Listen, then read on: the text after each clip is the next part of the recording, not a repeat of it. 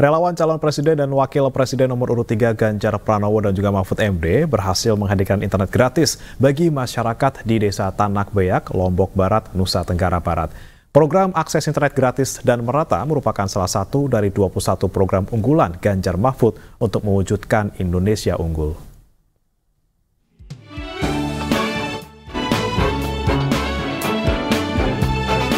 Sukarelawan Capres dan Cawapres nomor urut 3 Ganjar Pranowo dan Mahfud MD berhasil menghadirkan internet gratis bagi masyarakat desa Tanak Beak, Lombok Barat, Nusa Tenggara Barat. Relawan Ganjar Mahfud atau GABA meluncurkan program internet masuk desa yang merupakan bagian dari implementasi program unggulan Ganjar Mahfud. Layanan internet yang disediakan super cepat, gratis, serta merata di seluruh wilayah Indonesia dengan tajuk Gratisin Kenapa?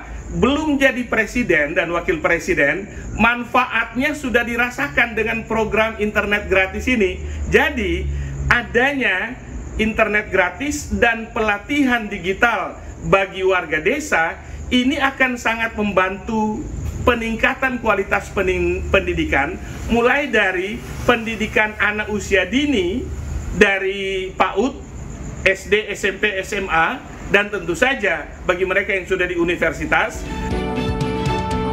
Program akses internet gratis dan merata satu dari 21 program unggulan yang dicanangkan calon presiden dan wakil presiden nomor urut 3, Ganjar Mahfud.